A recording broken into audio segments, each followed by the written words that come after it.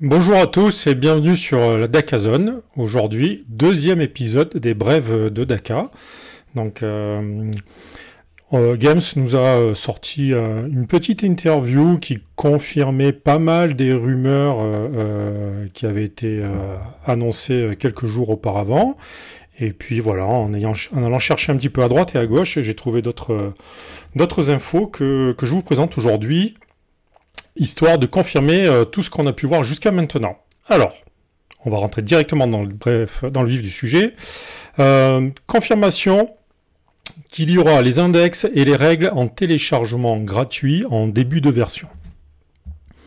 Euh, alors attention, les, index, c'est comme pour la V8, hein, ils vont tous sortir en même temps, et les codex vont ensuite sortir petit à petit, ça on a, on a l'habitude, ces, ces codex-là, eux, seront, seront payants. En début de version, on aura également toutes, je dis bien toutes les datasheets du jeu, y compris celles de Forge World. Donc on aura dès la sortie les règles en téléchargement gratuit, tous les codex et toutes les datasheets qui correspondent aussi euh, à Forge World. En revanche, euh, il n'y aura pas dans, ces codex-là, dans ces index-là, euh, de sous-factions comme on pourra trouver par la suite dans chaque codex. Donc là, on aura vraiment la, version générique de chaque codex. En gros, on pourra jouer Eldar, mais on ne pourra pas jouer Ultue ou, ou Bieltan. Et enfin, dernière euh, news générale euh, donnée par Games, l'application fonctionnera enfin. Bon, là j'ai mis un petit smiley, on verra bien ce qu'il en est une fois que euh, tout le monde se, connectera euh, dessus. Et donc cette application est censée être mise à jour à chaque fois qu'il y aura des changements. Donc euh, ça sera, si ça fonctionne bien, ça sera effectivement bien pratique. Confirmation aussi que Games a écouté sa fanbase et a voulu faire une version plus simple. Plus simple ne veut pas dire plus simpliste. Euh, en fait, c'est plus simple dans la prise en main et dans l'apprentissage du jeu et des règles. Euh, le jeu n'en restera pas moins attractif pour les compétiteurs, mais Games insiste sur le fait qu'ils euh, veulent que tous les nouveaux arrivants, les nouveaux venus, les, gens qui reviennent sur 40K se trouvent face à un jeu qui est facile à, appréhender de prime abord. Ça ne veut pas dire que pour les compétiteurs, le jeu n'aura pas une certaine profondeur malgré tout. En ce qui concerne les stratagèmes, alors on parle avec insistance de 6 stratagèmes par, fonction, par faction, pardon, euh, par index, euh, et par la suite euh, de 6 stratagèmes également par sous-faction. Alors si, les, si vous vous rappelez bien, on ne pourra pas mélanger a priori les stratagèmes dans une faction avec ceux d'une sous-faction, même si c'est inclus dans le même, dans le même codex. Il y aura également plus de stratagèmes génériques. Donc actuellement on en a 7-8 je crois.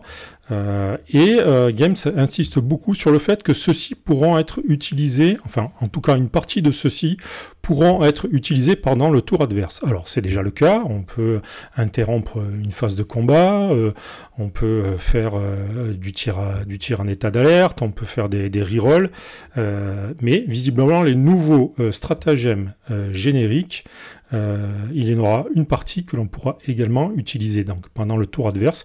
Ceci afin euh, d'augmenter l'interaction entre les joueurs, puisque, vous le savez, on est sur un système de tour par tour et non pas de tour alterné.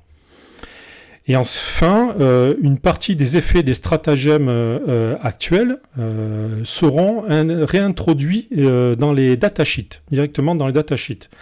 Euh, donc on peut penser par exemple euh, au, fumigène des, rhinos, euh, qui actuellement s'utilisait sous forme de, stratagème, et dans toutes les versions précédentes, le on, pouvait utiliser le, fumigène une fois dans la partie. Je, pense qu'on se redirige vers, vers les anciennes recettes. Games dit aussi qu'il y aura moins de choix et de travail préparatoire dans la construction des listes. Alors, je pense que pour les gens qui font du tournoi, etc., ça ne sera pas le cas parce que euh, euh, tout ce travail préparatoire est hyper important, évidemment, dans, le choix de, son armée et de, ce datasheet. Mais le, message de Game, c'est de dire, euh, voilà, vous allez pouvoir prendre les unités que vous voulez, et vous allez faire votre armée, et hop, c'est en avant, vous pouvez, vous pouvez jouer. En 10 minutes, vous pouvez préparer votre partie et vous amuser. Il est également dit que toutes les règles de chaque faction et sous-faction tiendront en deux pages. Uniquement deux pages. Et que on pourra ajouter les datasheets de, des, unités et basta. grosso modo, ça veut dire quoi? Ça veut dire que euh, chaque codex ou sous-faction, l'ensemble des règles tiendront sur deux pages. Et chaque datasheet pourra être acheté aussi elle sera présente dans le codex, donc le codex continuera à servir pour le fluff, les photos, etc. etc. Mais vous pourrez aussi, je pense que c'est euh, le, système de cartes que l'on a actuellement, euh, ça sera grosso modo la même chose, je pense, ça c'est une supposition, et, que vous pourrez euh, prendre l'équivalent de deux pages de règles, si vous avez une armée avec 7 unités à l'intérieur, les, les, cartes de vos 7 unités, et que vous n'aurez besoin que de ça pour jouer à transporter. Donc encore une fois, euh, beaucoup de simplicité euh, dans la prise en main, euh, dans la prise en main de jeu. Euh, nous dit que ces dernières, ces datasheets, ces cartes, etc., pourront être achetées pour pas cher. Alors, quand on connaît les critères de pas cher chez Games, on peut quand même se méfier un petit peu. On verra ça. Euh, confirmation du retour euh, des règles universelles. Les exemples pris sont par exemple euh, résistance à la douleur et frappe en profondeur. Alors ça, je vous le dis, on a connu ça en V4, c'est vraiment parfait. C'est vraiment la meilleure chose qu'il pouvait faire. la phase de morale est désormais renommée Battle Shock et elle disparaît en tant que telle pour être fusionnée avec la phase de commandement. Et cette phase de morale Battle Shock ne fera plus perdre de figurines. À la place, l'unité démoralisée sera moins fiable, par exemple pour prendre un, objectif, ou peut-être dans, ses, effets de jeu. Bon, ça on, verra euh, petit à petit. Euh, en ce qui concerne les pouvoirs psychiques, alors on a une disparition de la phase psychique, ça on l'avait déjà vu. Euh, ils seront désormais utilisés dans les différentes phases de jeu suivant leurs effets. Ça veut dire quoi? Euh, un effet psychique euh, qui fait du dégât euh, à distance sera sûrement utilisé pendant la phase de tir. Un effet psychique qui booste les, capacités de corps à corps sera sûrement utilisé au corps à corps, en phase de corps à corps. Peut-être qu'il y aura des effets psychiques qui influeront sur le moral, et dans ce cas, ça arrivera pendant la phase de commandement, etc. etc. Euh, dans cette interview, il est précisé que certains pouvoirs euh, seront par exemple des armes, comme le, châtiment, qui est à disposition de tous les psycheurs. Il dit également que Magnus a une attaque de psychique de tir, etc., etc. Donc ça, je pense que ça sera en plus ou à la place euh, des armes de tir classiques.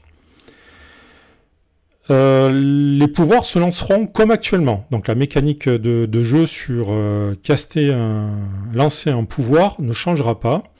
Et la mécanique euh, sur les blessures mortelles ne changera pas non plus. Donc à voir si il y aura des, des, fils no pain adaptés encore aux, aux, blessures mortelles. Bon, ça, ça fait partie des choses que l'on va découvrir petit à petit. Euh, info assez importante, les pouvoirs psy utilisables seront directement sur chaque datasheet. Alors, est-ce qu'on pourra malgré tout en rajouter ou est-ce que euh, l'ensemble des pouvoirs utilisés par une figurine euh, seront déjà sur la datasheet On ne sait pas. Peut-être qu'il y aura quand même un, tableau avec un, choix suivant la faction. Bon, ça c'est pas clair encore, on, verra avec le temps, mais en tout cas, euh, il, est, sûr et certain que chaque datasheet aura, euh, de Psyker aura les sorts qu'ils peuvent utiliser sur, euh, sur leur datasheet. Alors pourquoi Games fait, fait, tout ça, à, retirer la phase de psy? Tout simplement parce que certaines armées n'ont pas de psy, d'autres en ont énormément euh, les TS, euh, les tyrannides et les Eldar, et que ça, crée un, temps de non-interaction entre, euh, entre les joueurs. Et donc visiblement, Games euh, désire désormais faire en sorte qu'il y ait moins de temps d'attente où un joueur regarde l'autre faire sa vie et veut un petit peu plus d'interaction entre les joueurs. Donc ça va là aussi, je trouve, plutôt dans le, dans le bon sens. Les autres confirmations que l'on a eues euh, sur, cette, euh, sur cette interview, sur ces infos, les règles vont se recentrer sur les datasheets. et il y aura en parallèle moins de règles par figurine. Donc aujourd'hui, effectivement, on pouvait avoir des datasheets où le, nombre de capacités de l'unité était assez long. Euh, bon, visiblement, euh, Games euh, reste dans sa logique de jeu plus simple et plus rapide en, enlevant quelques effets de jeu.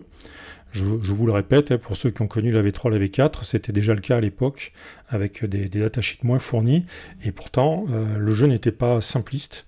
il y avait beaucoup de tactiques qui étaient mises en place aussi, il y avait beaucoup de tricks, et, le jeu bah, était quand même moins prenant, et on finissait les parties euh, sans être euh, exténué parfois, comme ça peut l'être dans, ces dernières versions.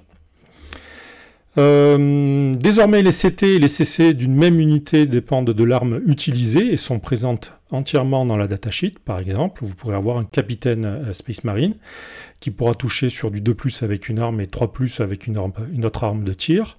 Et ce même capitaine pourra avec euh, toucher sur 2+, avec un point énergétique, pendant que le sergent vétéran euh, d'une escouade Space Marine ou Primaris, lui, ne pourra toucher que sur du 3+.